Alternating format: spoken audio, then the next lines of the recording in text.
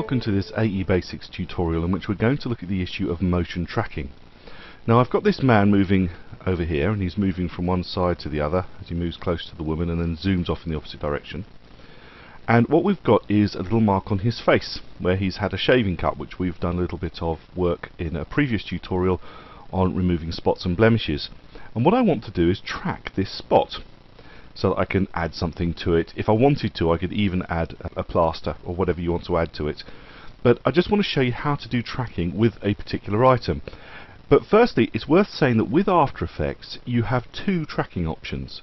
There is the inbuilt tracker, which I'm going to demonstrate today, but there's also a tracker that ships, a separate program entirely that ships with After Effects. It's free of charge, you don't have to pay for it.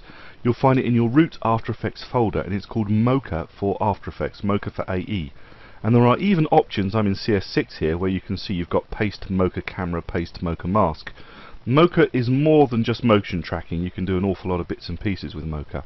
I'm not going to cover Mocha, but it's worth saying that there is another option if you wish to do that. But we're going to look at the point tracker in After Effects. And the point tracker does basically what it says. It just takes a single point and tracks it along. Now, before we use the point tracker, one of the things we need to think about is how are we going to use that data? So what we want to do is track this spot as it moves, as he moves, and then we can add a piece of text, which is what we'll do for demonstration purposes. And we need to think about how we can make something then follow when we've done the track. And to do that, what we need to do is create a target for the track. So we track the video footage, but we also need to target or put that data into another layer that can then lock on to the actual area that we've targeted, the area that we've tracked, and can then be used to parent whatever we want to include with this track. Sometimes I call this a data bucket. We're going to be creating a lot of data when we track, and we need to put that data into a bucket, and that bucket, if you like, is a new layer, and the layer is called a null object. And a null object is a non-rendering layer. So it's a layer you can use for motion tracking, for camera tracking, for moving cameras around, for all sorts of bits and pieces. But what we're going to use it for is holding or storing this tracking data and then the null object will, if you like, follow this spot as we've done our motion track and we can then parent whatever items we want to that null object. So let's create a new null object. So I'm going to go to Layer, New, Null Object and you can see it's got a keyboard shortcut Control Alt Shift Y for a PC, Command Option Shift Y for a Mac. You create it, and usually in my own work I would rename this TD for tracking data, or call it tracking data, and you just hit enter, rename it, and hit enter again. But I'm not going to rename it just so you can see how I use it a bit later on. Now what we need is the tracking panel, or the tracker. And that's found in one of two ways. One is you could go to your workspaces and you can choose a motion tracking, and that will bring the panel to the fore. The other alternative is you simply go to the Windows menu and you look for the tracker and make sure you select the tracker and then the tracker panel opens up down here. Now at the moment it's not active and it's not active simply because I don't have the actual layer selected. I've got, I've got a null layer selected. And in actual fact I'm just going to move this panel up to here so that you can see my whole timeline. So there's the tracker. Let me just rearrange it a bit. And as you can see nothing is active but as soon as I go to either select the source here or just click on the actual layer here in the timeline you'll see that it comes to life. Now there is a camera tracker, there's a track camera, there's a warp stabilizer and the stabilizing motion. There's lots of other bits and pieces which I'm not covering in this tutorial. I'm interested in this one which says track motion. Now when you click track motion you will open up the layer panel because as with paint you can't actually track in the composition window.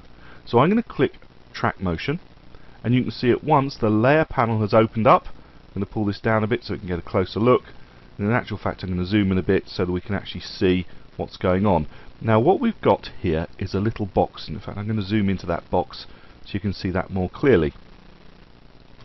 Okay, so this box has got three items. It's called track point 1, it's got an outer box, an inner box and a point if you are going to track more than just a single point, so if it's more than just the position that's changing, say somebody's hand holding a camera and it's going side to side rather, then you would add a second point and that's added over here by clicking rotation.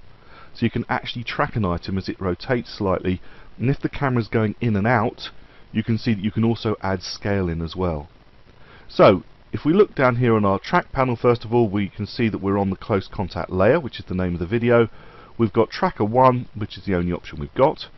And you can see that we are going to use track type which is transform there are other types available but transforms what we want to use for the basic tracker. Right so now we need to understand this box.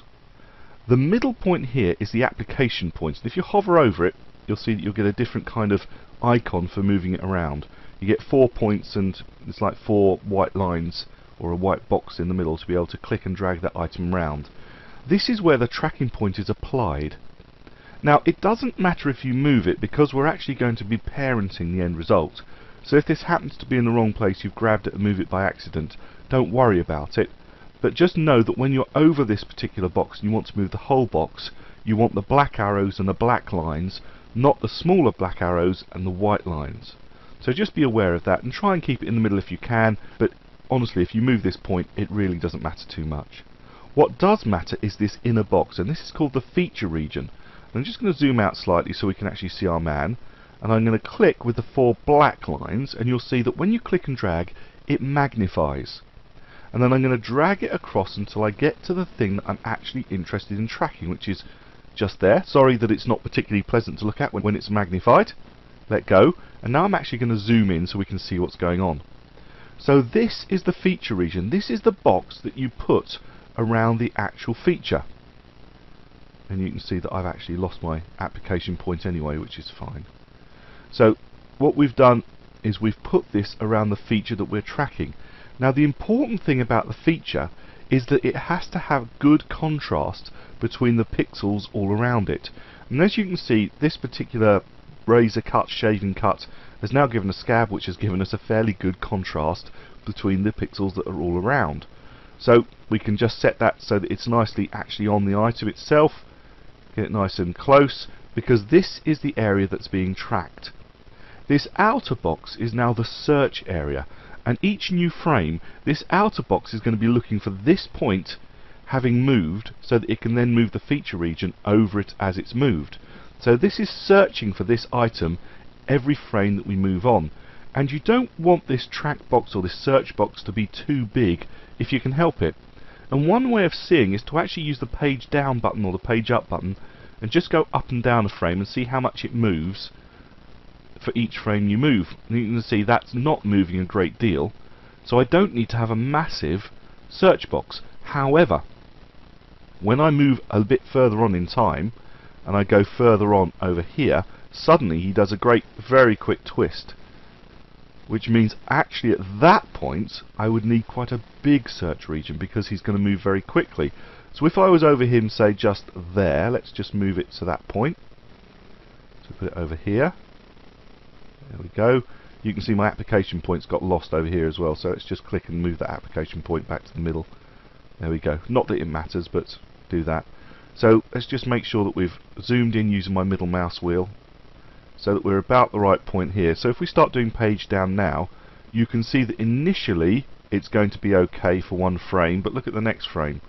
It's moving a long way. So what we might say is at this point, because he's going to be moving fairly fast, fairly quickly, I'm actually going to make this a bigger search region because there is fast movement on my track from that point onwards.